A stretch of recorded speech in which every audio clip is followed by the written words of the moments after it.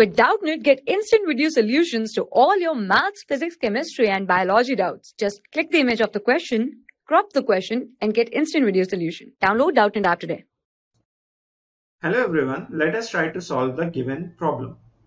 So the given problem simply said a solid right cylinder of length L stands upright at the rest on the bottom of a large tub filled with water up to a height h as shown in the figure the density of the material of cylinder equals to that of the water.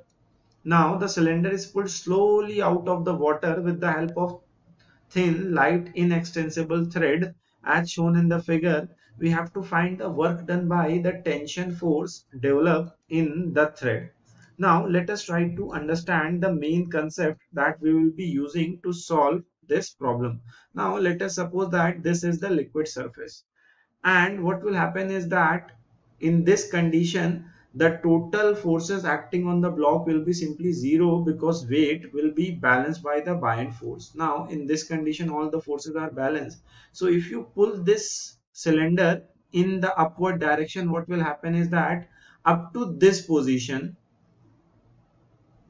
right when it is about to just come on the liquid there will be no net forces on the block or cylinder the net forces here will be simply zero because the weight will be balanced by the buoyant force. And so up to this point that is just at this surface the work done by the tension force up to this point will be simply zero. Why? Because here we can say that the buoyant force which will be acting on the liquid this will be simply equals to weight so there will be no tension in the string. If you just pull this block, it will simply moves in the upward direction. But when you start pulling this block out of the water, then you will have to apply some tension. Let us now try to understand why you will have to apply some tension. So you can see that the first force which will be acting in the downward direction is weight of the body. Now weight of the body will simply not change, right? Because it is simply mg so the weight of the body will not change. Now you can see that as the volume is simply going in the upward direction the volume of this body inside the liquid is decreasing. So you can understand that the buoyant force will be simply decreasing right? So the buoyant force here will simply decrease. This will be the buoyant force now the buoyant force here will be simply less than weight. It will not be equals to the weight. Why? Because we have taken out some volume.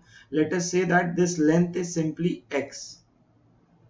We have taken out this volume so the buoyant force will simply reduce. So what will happen is that if we want to pull it we have to apply a force of tension in this direction. Let us try to find out this tension force. So if we apply the force balance this will be FB plus T will be simply equals to W which is mg. Let us now put the values. So from here we can get tension is equals to W minus buoyant force. Now we can write mg in place of W minus buoyant force is simply equals to the density of the body right density of the liquid in which the body is filled into the volume which is submerged that is inside into the value g. Now it is given in the question that the density of the body is simply equals to the density of liquid. So we can write here this is simply mass of the body into g minus in place of density of the liquid we can write density of the body into volume submerged into g. Now what we can write in place of density of the body?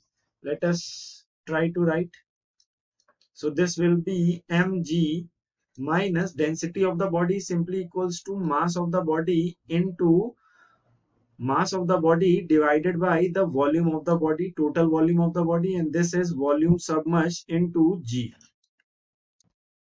Let us solve this equation further. So you can see that this will be nothing but mg minus we can write it like this. This will be simply mg into volume submerged divided by the total volume. Now we have assumed that the total length which is out is simply x. So how can we calculate the volume submerged? we can write it like this mg minus this is simply mg and how do you calculate the volume submerged let us say that the volume which is outside is simply v dash so how do you calculate the volume submerged total volume minus v dash which is outside will give you the volume inside which is submerged volume divided by the total volume. Now let us put the value.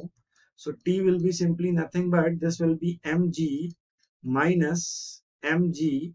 And you can see that in place of this what we can write is this is total length L minus this is simply X whole divided by L and we can multiply this by area and we can multiply this by area so you can see that this total volume will be equals to length into area we have taken the area common and this volume outside will equals to length into area so we have taken area common and this will cancel out so if you calculate the tension force from here what you are going to get is mg L into X.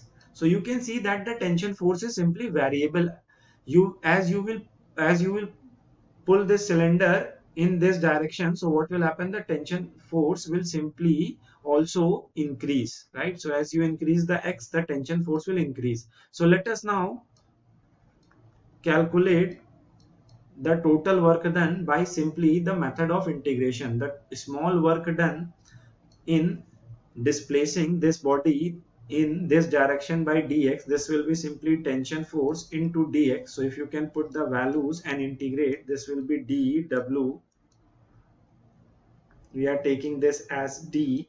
So this will be t. We can put the value of t here. So this is nothing but mgl and this is x dx. Now we can take the limit here. So this is simply 0 to l until the whole body is simply pulled out of the water. So if you integrate this, what, what you are going to get is total work done is nothing but 0.5 mgl. So this will be simply the total work done.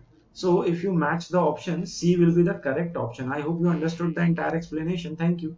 For class 6 to 12, IIT JEE and NEET level. Trusted by more than 5 crore students. Download Doubtnut App today.